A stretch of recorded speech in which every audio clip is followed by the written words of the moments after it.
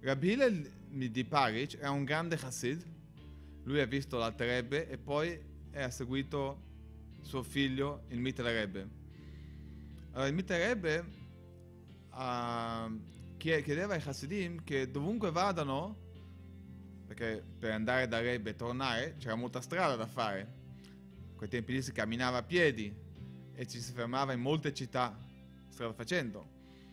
E allora la, la, il Rebbe aveva chiesto in ogni posto che i Hasidim si fermano di andare e ripetere gli insegnamenti chassidici che hanno insegna- imparato da Rebbe. Per cui i discorsi chassidici che hanno imparato da Rebbe, ripeterli in ogni città e cittadella ebrea. Allora, Rabbi di Paric ha chiesto al, re, al Mittel Rebbe, al secondo Rebbe di Lubavitch, se ripetere questi concetti profondi di Chassidut anche in città che non c'era gente erudita, c'era gente ebrei molto semplici, che magari ascoltavano per rispetto perché sono parole di Torah, però non ci capivano niente. E dunque lui si domandava, ma che senso ha ripetere la Hasidut anche a loro? Allora il Mitter Rebbe risposto così. L'anima sente le parole di Hasidut. C'è scritto Venoslim min Levanon. Sarebbe, letteralmente significa che eh, gocciolano, non esattamente però, dal Libano. Eh, in inglese è flowing, adesso mi scappa la parola in italiano, ma scroscia come. In ogni caso, la parola Levanon, che significa letteralmente Libano, però in inglese, in ebraico, è composta da due parole, Lev e Nun. Lev è cuore, che significa valore numerico 32, Nun è 50.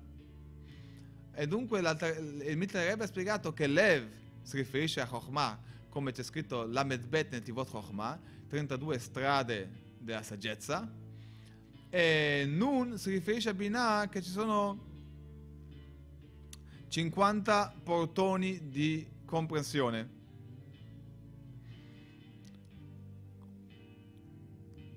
E dunque queste parole di Hasidut che tu ripeti, la, l'anima le sente e da questa anima qui, da, quest, da queste gocce di Hasidut che l'anima percepisce, le, le, l'anima le percepisce nella sua saggezza e nella sua comprensione, Lev Nun,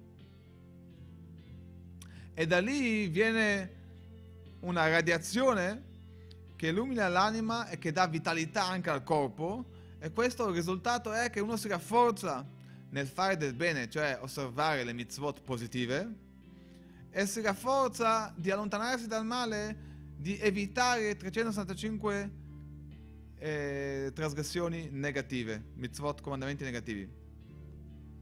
E dunque se anche uno non capisce queste parole di Hasidut che sono profonde, comunque va a ripetere perché questo avrà un effetto sulla sua anima, sua anima sì che lo capisce, e l'effetto che c'è sull'anima ha un effetto anche sul corpo di fare sì che la persona starà più attenta nell'osservare la Torah e le mitzvot ed evitare i peccati, di avvicinarsi a Dio e non allontanarsi trasgredendo la sua volontà.